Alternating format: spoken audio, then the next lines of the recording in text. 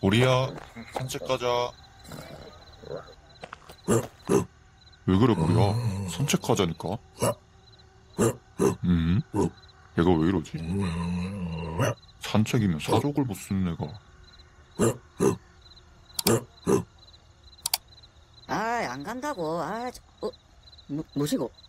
뭐, 머리? 어, 어, 어? 뭐, 뭐야? 야, 잘 됐다. 이- 야, 임마, 니 지금 내랑 산책? one day two day야? 니 봉지 챙겼어, 안 챙겼어? 어? 어, 니 어제도 그, 산책하다 내가 그, 똥싼 거 모른 척하고 그냥 왔지?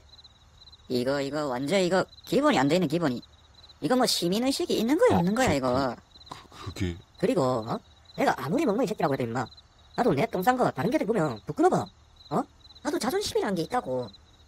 철수야. 그리고 이건 내가 니 뭐라 하는 게 아니라.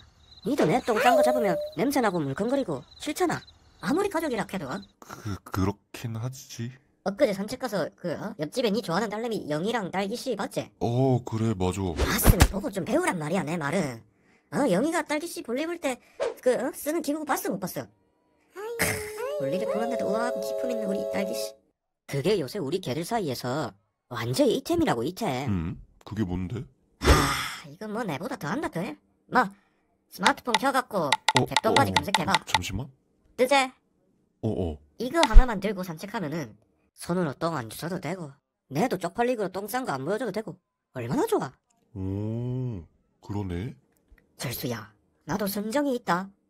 네가 그걸 짓밟으면 그때는 막 똥개가 되는 거야. 이 정도 말했으면 뭔 말인지 알겠지? 올바른 패티켓 문화를 위한 반려인들의 필수 아이템. 어서 주문시켜